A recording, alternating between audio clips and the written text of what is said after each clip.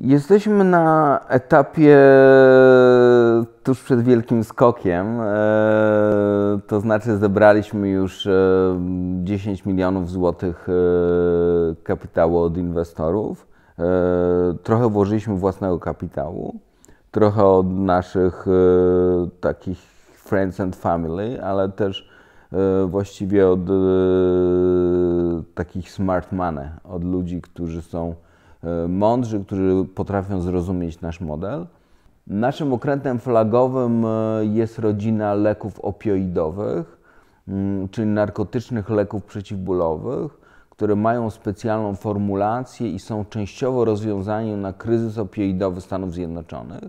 Ten lek już jest po badaniach klinicznych i w tej chwili jest w rejestracji i ma szansę być pierwszym polskim lekiem oryginalnym.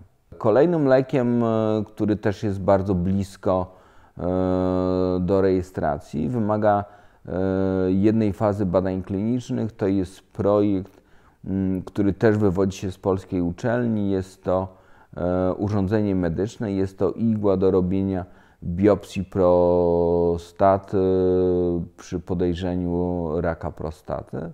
Yy, i jest to polski patent. Jesteśmy firmą wirtualną, dlatego że nie posiadamy swoich aktywów trwałych.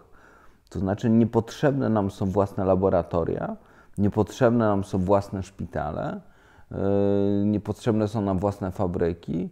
Wszystkie potrzebne elementy do złożenia naszego projektu yy, kupujemy z zewnątrz. My jesteśmy firmą taką trochę projektową. Składamy nasze projekty udowodniamy naszą hipotezę roboczą, że dana terapia działa i sprzedajemy tę wiedzę do ostatecznego odbiorcy, czyli firm farmaceutycznych.